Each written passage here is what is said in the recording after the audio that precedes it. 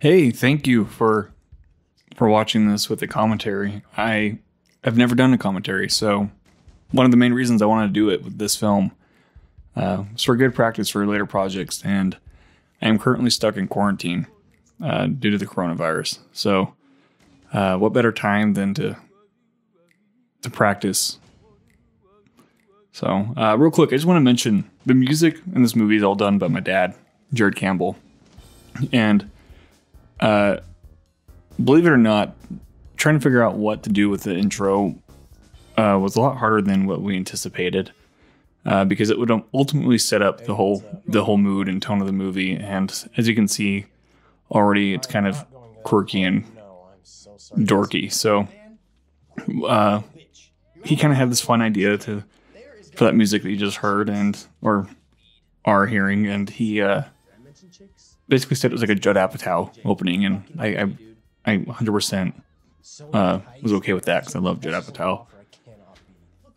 And Lorenzo right there, uh, when we start before we started shooting this, he came up to me and he requested for his character to poop with his shirt off, and that's something that I never would have thought I'd been asked in my life.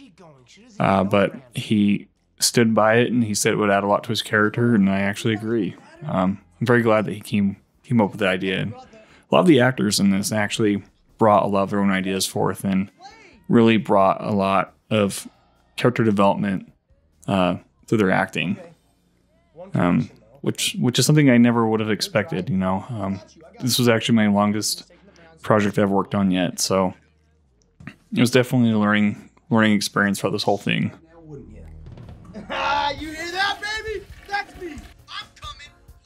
I mean, who doesn't have a friend that will just call them when they're pooping? I love it. Um, this photo he's about to slam down was supposed to be of his ex girlfriend in the script. Uh, and ultimately, Chris Anderson and I, uh, Chris is the director, of photographer, or cinematographer, if you will. He, uh, he and I agreed that that shouldn't be the main focus of the movie. Um, there was a lot more that goes on, and to have somebody mope uh, about about an ex of theirs uh, wasn't really the focus of his, his of the character. Uh, so it ended up being my mom and my my uncle of all of all people. Fucking love that song. And this porch that we're shooting on now, uh, this whole scene takes place in my grandparents' house, and their house faces the west side, which is where the sun was setting, and we needed the golden hour. Um, I think it, I think it pulled off pretty well. For your lungs and stuff. Yeah, but then that means I'd have to live longer if I switch over now. I'm still living this life forever, man. And Casey's not a smoker by any means, and uh, the cigarettes he is smoking in this is uh, Okay, I don't give a shit if you uh, herbal cigarettes, which I had to do some research on, and he they burn really quick. I think with this scene we went through like four different cigarettes because they burn so quick and uh, they smell awful. I definitely would not recommend it, and he was a real sport for putting up with it because I'm sure they tasted awful. And this car, this, there's a fun story about this car. Uh, it's actually one of our producers, uh, Landon Caston's old car. And in all the projects that we've worked with together or worked on together, uh, we always end up using his car for whatever reason. And so I thought it was really fitting to just have have his best friend drive his car. I don't want to hear it. And in this scene right here, we're actually fighting the sound uh, for the freeway. There's a freeway right behind my grandparents' house, and this is a scene that I kind of wish I did ADR on, and I didn't want to tackle ADR because I was afraid. Essentially, I, I very much did not understand exactly how to do post sound, and so uh, during editing, I had to I had to dink with all the sound settings, and I think I made it work. But um, definitely for future projects, I would I'd looking forward to doing more ADR stuff and uh, making making the sound sound great. I'm sorry. Because in a lot of ways, it kind of you know you can almost suppress your actor's performance if you're not doing the sound correctly. So audio is a huge thing, and everybody who did audio on this film did a fantastic job.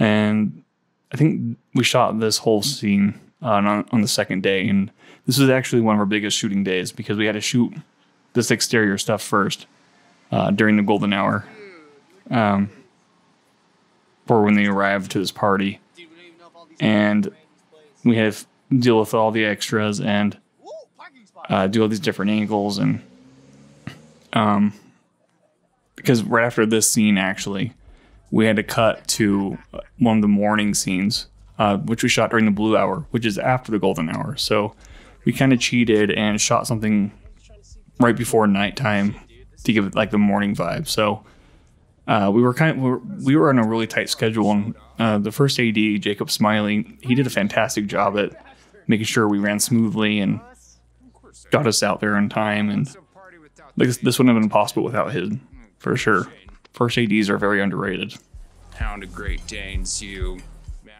I love connor. That's connor. Uh, he is actually a cinematographer. Uh, he's not an actor by any means and i think he fits this role perfectly with his dreads. Uh, landon and i kind of met him on another set and he agreed to do it. Uh, he was actually really nervous to be on screen. Got drinks, got Molly. But uh, his character is based off of somebody that I know who doesn't have dreads, but he had like this fun personality. Let's go get fucked And that's all Connor's idea right there was a sword. Who brings a sword to a party? I love it. And here we are at a party sequence with all these extras. Uh, we shot this in my parents' house actually. So we're back to my parents, and we had after we shot the blue hour stuff, we had to shoot this. So this was all the same night. Is there reality somewhere? and uh, it was chaotic, very chaotic. But I think we pulled it off well, and all these extras came over to this small condo and made it look look like a party. And this is this music is again is all my dad's stuff, so that was really great that he was able to compose all this on a very very short timeline because we were rushing to get this done for uh, one of the local festivals here.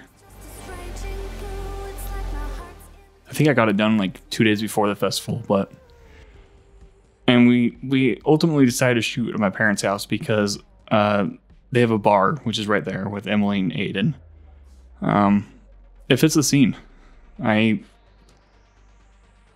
I'm glad we shot there with the bar. It, it adds a lot to the nuance and stuff. And this is another improvised scene from Lorenzo and Mary.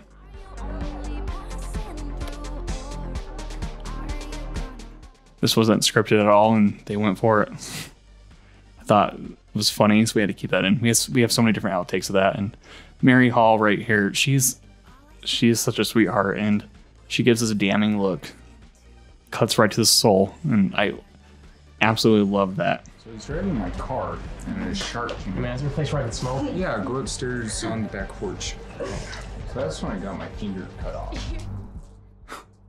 um, this fire scene is actually the only scene that we had to reshoot uh, of all the stuff Um, initially, we tried to do it on the very first night, and uh, we were shooting on my parents' back patio, uh, but we had to fight crickets. The crickets ultimately won because we could not hear the actors speak at all. Um, really, I mean, location-wise and sound, like you have to really do your research before you start shooting, you know, and that's something I, I learned. Uh, so we shot this, reshot it, I should say, uh, at my grandparents' house in their backyard and somebody from our work uh, let us borrow their fire pit. And this whole movie is actually a lot of this movie is natural lighting. Um, I'm not gonna say the whole movie because we definitely uh, lit some stuff up, but uh, this scene on- right here only has like one LED panel, and then the rest of it is uh, natural cast of the the fire. Have the same question be asked of you. Really really cool shots and i think chris did a wonderful job at capturing that. And here you can also see that we're kind of fight sound with the, the freeway so. Do you know Randall? i love this scene uh, because it kind of shows the chemistry between mary or not mary sorry emily and uh, casey. Um, emily actually before we started shooting she she wanted to get into character uh, she wanted a character background a character My name is Marley. uh, breakdown. She she sent me photos of like the character's costume. She did all the costume design, Raised me to go and uh, I think she did a phenomenal job with this character, and especially later on in the script, because like the first half is essentially Casey's story, and as you will see, the last half is, is mostly uh, Emily's story. And they kind of meet in the middle uh, in the last couple of minutes, and I, I think it's a really cool full circle. Um, that's hopefully going for. Think of it like um, like Phantom of the Opera. And I love this idea of uh, two strangers just totally talking um, at a party, at a fireside, and that's something that like I've experienced before. Uh, not necessarily to this extent of going out on an adventure, but definitely had some interesting conversations. And to this day, I still don't remember their names, but uh, it was very much just real and in the moment, you know. And that, that's kind of what kind of inspired this whole movie. Okay, stranger. I don't want to go back in there for reasons regarding. in this whole scene, uh, he learns her name, but she doesn't learn his name, and I wanted to keep that a thing throughout the whole movie And be the third wheel. because I thought it was kind of fun So, what do you say? just to go out on a total adventure with a total stranger, not knowing their name or anything like that. You know, you just you just know that you met them at a party, and that's something that I I toyed with, um, and I questioned if I would do that if I met somebody at a party. You know, and so really they start on opposite ends, um, and they were kind of the yin and the yang. That's the kind of idea I was going for with these two characters. Did Bilbo know any of those doors before setting out? Wow. It was tempting. Okay, fine. But it's only because you mentioned Lord of the Rings. Hobbit. Same universe, different story. Come on. Um, now, if you're paying attention uh, when he was first smoking a cigarette um, on the patio in, in the very beginning, uh, that background is actually something we've seen before. This is still at my grandparents' house, and uh, we, we kind of cheated and did some movie magic and shot the same location, but we shot tighter uh, to to make the background a little bit more out of focus. The depth of field. And so a lot of the script is actually based off of uh, the hometown that I grew in, or grew up in, which is Woods Cross City, and I kind of wrote it in areas that I knew that we could probably shoot in, and it'd be very doable for such a low budget because we only had a budget of like five hundred dollars. And so now that they're out on an adventure in the night, like a majority of this is shot in Woods Cross City.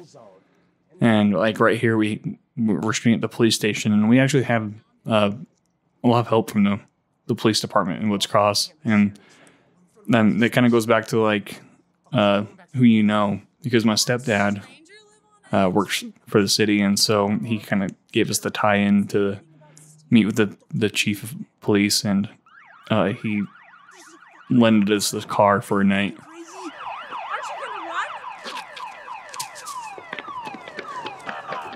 And it kind of it increases the production value. Um, mean, for five hundred dollars, like I think this looks more than that, and I'm glad. That's something I'm, I'm proud to say. There's Landon right there, uh, the young cop. Jesus fucking Christ, that's the fifth time this month. Look, I'm sorry, all right, but I don't have time to lock the fucking door when I'm busy carrying some handcuffed drunk into the station. I- hall. I got him to drop the f bomb. Landon never drops the f bomb. He's such a nice guy, and uh, he's very, very not the kind of person that to just just swear for the sake of swearing. But I, I got him to drop that, and I thought it was kind of funny. So, so you expect me to push the button And this whole scene is just like comedy relief, you know, just two two dumb cops. my keys to lock the fucking door so my dick of an asshole boss will stop yelling at me. But wait, in the meantime, And while we're shooting this whole scene, we actually uh had uh, people driving around interrupting our shots because when you have cop lights and cameras everywhere, people annoyingly drive while you're in the middle of shooting and ruin the whole shot. And uh, my, my piece of advice is if you see boom mics up and cameras and lights everywhere, chances are it's normal and not to be a douchebag about it and drive through the through the shot. I love how strict Derek is in this. And this was actually our last night of shooting.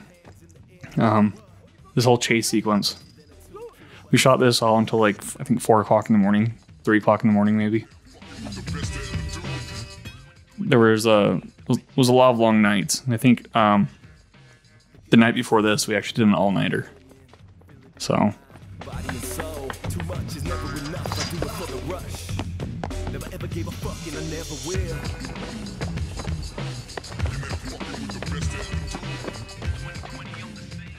in this scene right here, this fence, uh, right before the scene cuts to the police station, this is the same location actually. So just another area of cheating.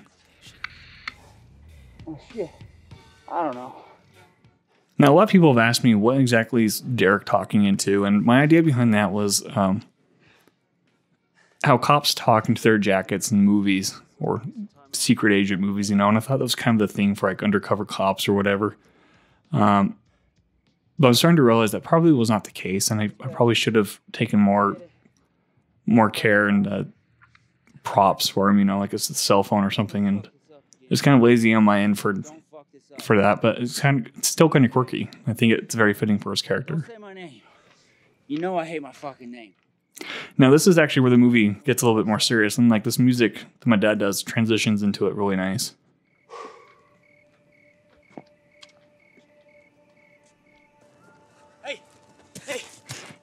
And uh, this park, this park was fun to shoot at. Uh, this is actually a park that uh, I grew up by. Uh, my house that I grew up in was like around the area, and I had endless nights walking through this park. And so a lot of the script, I'm telling you, uh, it was exactly Too many kids running around. it was exactly that, like writing down exterior park. Like and this is the exact park that I, I pictured, you know, and uh, it, it kind of made it easier to do this too because my stepdad, having worked with the city, uh, he had access to turn off sprinklers or um, so other stuff that we kind of needed for the night stuff. X used to do it.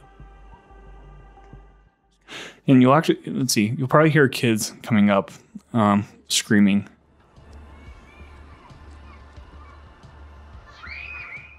And that's not a sound effect. That were there were actual kids at this park with like a huge family reunion function at ten o'clock at night.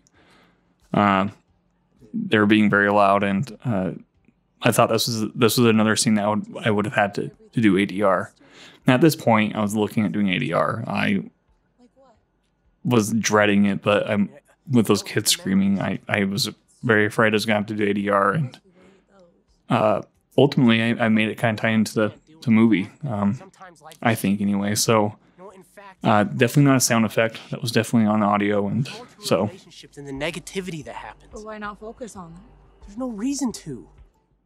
and this is uh, pretty much where the the two actors are getting very raw and very very real with each other. You know, starting to show sides that uh, we haven't seen yet. It was cheaper. What kind of a person isn't perfect at first, huh, Marley? I love this music too. Um, every time there's a question asked, my dad put a little piano piano piece in there. Sorry. And this is actually a scene I had no idea what the music was going to be. Um, even uh, in the script, I thought it was going to be just a quiet moment with no music. And uh, ultimately, my dad he he came up with something, and I thought was very very much deep. It gave the it gave the scene a lot of depth. That's why trust goes a long way.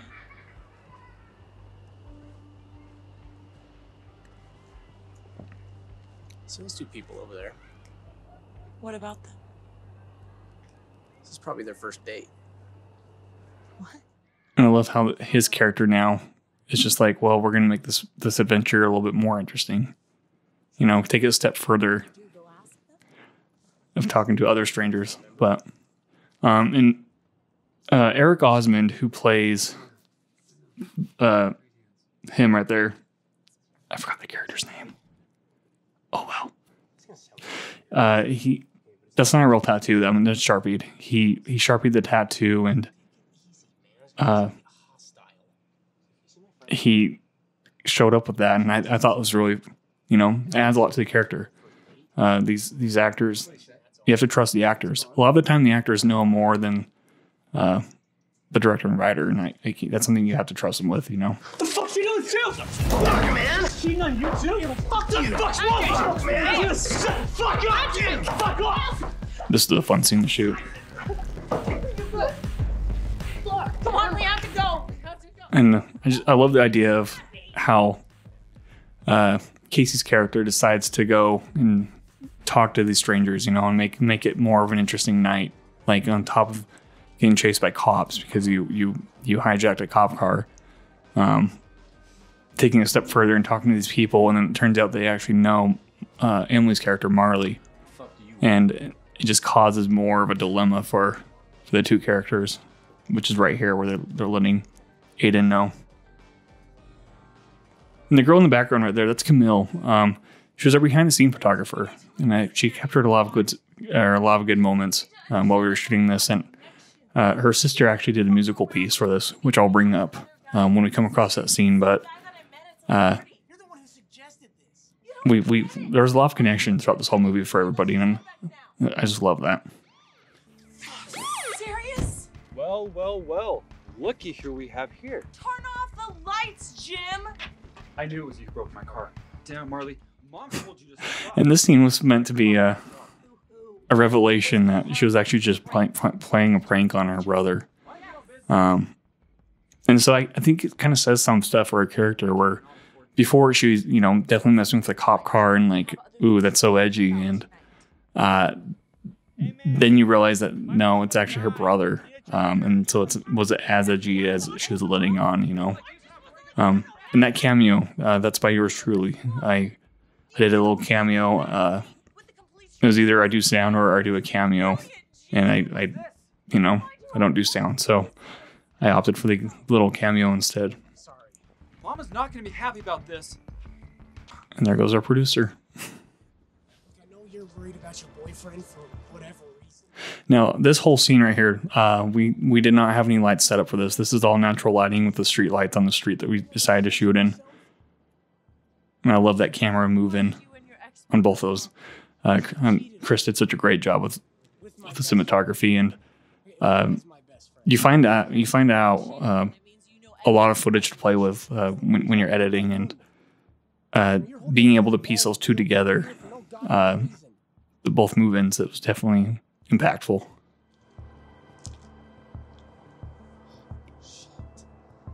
Marley, I, I didn't mean to say that. And this is kind of where uh, Emily really gets in touch with her character, and uh, she brought so much depth to Marley. Uh, she really did, more so than I could have done on paper. So, and it's this is kind of where it kind of turns into Marley's side of the story. And the third. It's not so different. Is And the idea is that she doesn't she doesn't leave um, abusive relationships. Like this is the same guy that uh, she gave examples of just barely, you know. Get the fucking car now. Baby, it's not what you, You think. think you can steal my No, girl? It's not what you think, My girl. babe. Ah, that looks like such a real punch. Uh, Aiden did a fantastic job playing Logan, and he um, he he was very nice and just like asking me constantly if if he could uh, do a little bit more, and I'm like, yeah, you know, just just go with it and do do what exactly uh, you feel that your character would do, and he he he brought a lot to it. Uh, I love that camera turnaround. One of my favorite shots. Uh, something I do wish we got here was actually um, seeing Aiden get knocked out, uh, or seeing that his stomach moving up and down to imply that he's breathing, uh, because as you'll see in a couple minutes, uh, it looks like he's dead. And it's something people have asked me if he is, and no, no, he's not. It's just something that was in the script that uh, we we were kind of short on time for and didn't didn't have time to catch. So.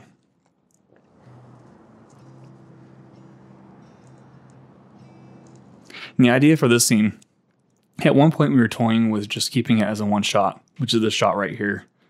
Um, but we, due to sound, because there is a freeway and a train yard uh, in this location, we had to cut. And I'm, I'm kind of glad that we did cut because we get to see these uh, stay with him.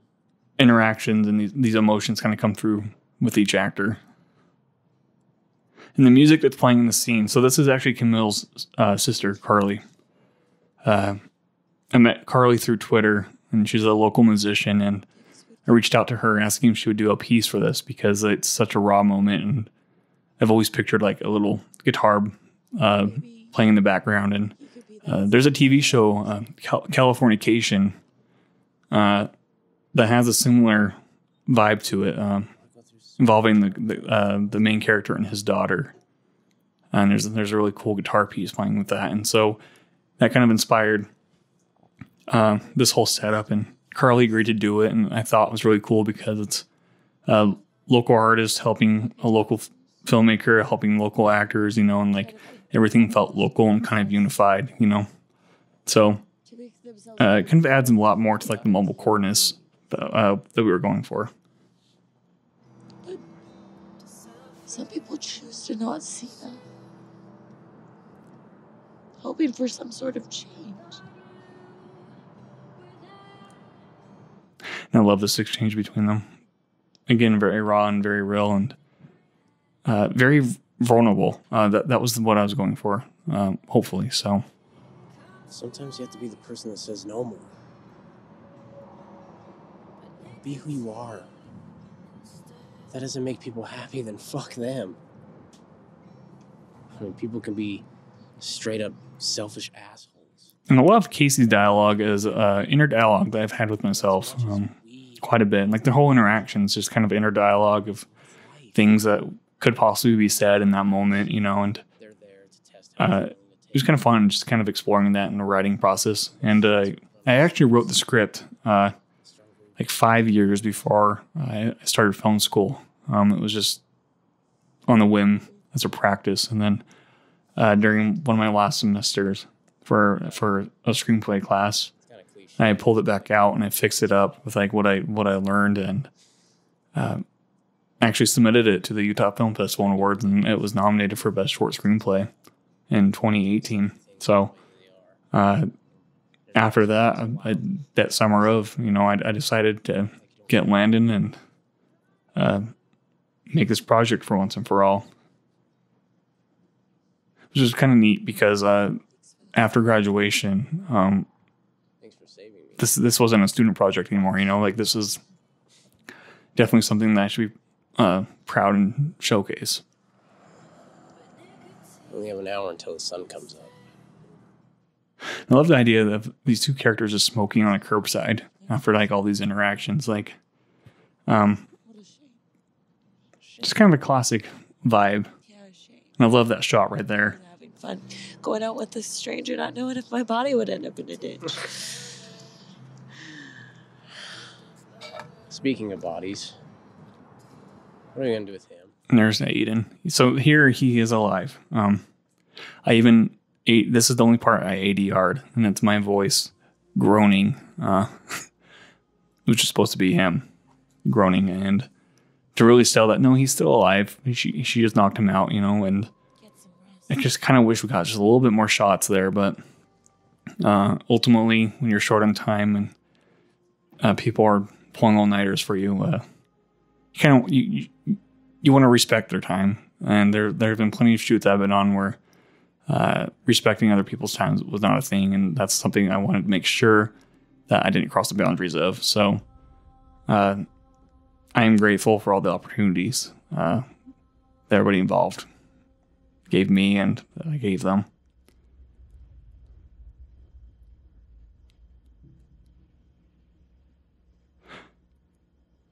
And right here, this is the blue hour shot. Um, this is something we shot on the second day, actually, and this is after the whole party introduction, and uh, it was really weird uh, because we didn't know exactly what the middle part looked like. When you're missing the middle part and you're shooting the last part, it's uh, it's really nerve wracking because if you don't get it right, then you have to reshoot. You know, it's gonna make things more complicated. But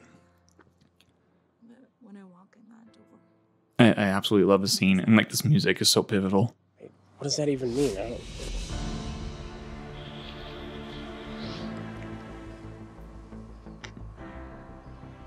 I'm still with Logan. I mean, who knows if that's And I, I love how, you know, basically both accept that this might be the last time seeing each other. Just to take the night for like what it was and uh, not take it for granted. There's Aiden right there. Uh, originally in the script, Aiden's character was in the house. Just a side note, uh, that whisper right there, uh, not scripted at all. Um, I, d- I didn't know what she wanted to say, and I, I, I, I told Emily to say, say something in his ear, but I didn't want to know. I want to be part of the audience, and uh, it's kind of very much lost in translation, which didn't connect till after uh, this was even released. Like, that's kind of where I realized that inspiration came from. Um, but anyway, so Aiden's character was actually in the house uh, watching that that kiss, and we kind of um, moved it. You know, it was kind of like a fuck you to his character, and we kind of moved it on the outside because some schedule conflicts. But here's Mary again. I really love this with uh, Casey's character. I mean, this is pretty much his whole arc and his whole closure of uh, letting his girlfriend go, and, or his ex girlfriend, I should say, go and leave. And that car right there was actually not in the shot at all. Uh, that was actually some neighbor, and we. Uh, it looks like she's walking toward the car getting picked up, and I, I thought it was really cool um, opportunity to include that in the movie. Friend left me. I don't get it. I invite the guy here. Give him a And this right here is actually our very first night of shooting. Um, yeah, we shot the last scene the first night, and I mean, talk about nerves. You know what I think he does? Motherfucker told me that he would quit. I don't know if you can see, but Landon's on that couch in the very background asleep.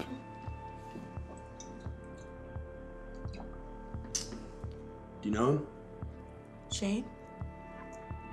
And this is a moment where she actually uh, finds out his name, and uh, you know, after saying goodbye, and then she finally figures out his name. Like I, I, I absolutely love that idea, especially this response. Let me get your name. Just go out there and join him. What? Do you only tell your name to people you trust? Yeah. Beautiful. It kind of plays with the idea that uh, when you meet a stranger, uh, how you just knowingly trust them, you know, and uh, I, I thought it was very fitting for her to, you know, like, oh hey, I, I, I know his name, and I, I, he knew my name before that. Like, why, why was I so open with him? You know, and it's kind of just unknowingly trusting, and I don't know, it's kind of fun. And there's a, a Polish filmmaker named uh, Krzysztof Kieślowski. I think that's how you pronounce his name. We had a quote about how if you meet somebody in a coffee shop, like that might be the last time you ever see them, and basically not to miss the opportunity, you know. And that's not the exact quote. Like I don't remember the exact quote, but uh, this actually that's actually inspiration for like a lot of my uh, writings lately. So Yeah. Yeah, you can say that.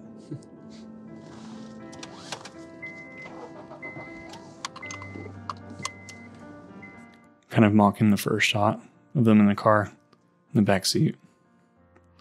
And then this is the very last shot right here, and we shot this the first night, and this was this is what I did not know it was going to work until we got all the footage, and I think it turned out turned out beautiful. You know, playing with her her engagement ring, and as you can see, we actually didn't focus on the ring at all and throughout the whole thing.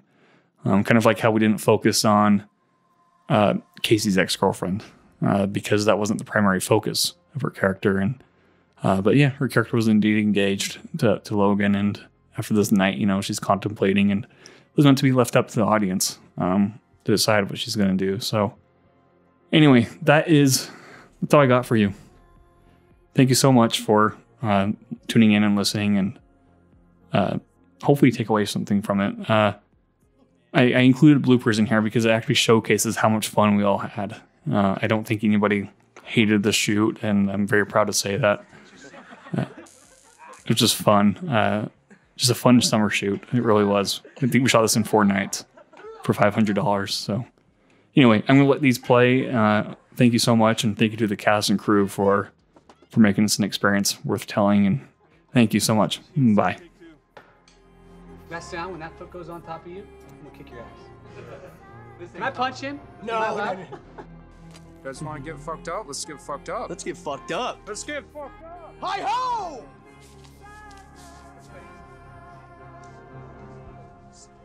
Oh, we're going in pluck it out. we got. Oh shit. I'm getting too old for this. I don't know. Just. Your hands feel so like manly. oh